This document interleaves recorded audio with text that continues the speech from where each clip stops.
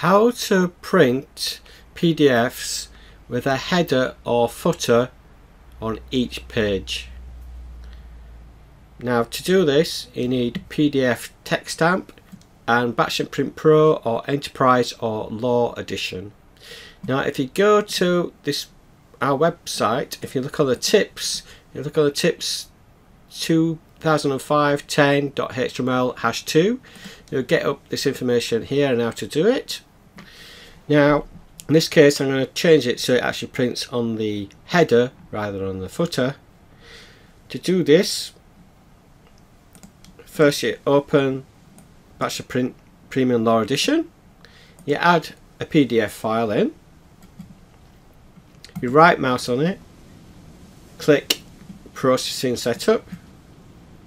Now this will be clear. What you do is enable command line scripting then you take this information here step 4 and you paste it in the script.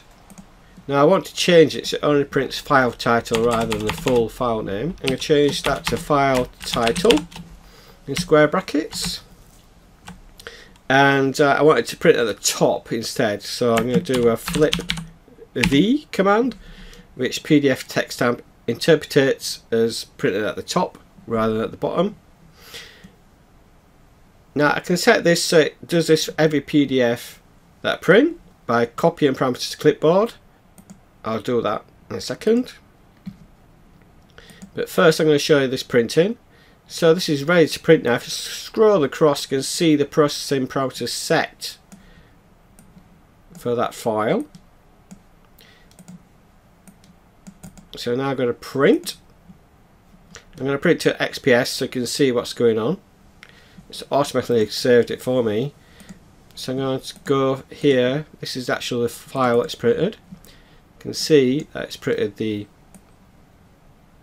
the header there the PDF bookmark print help.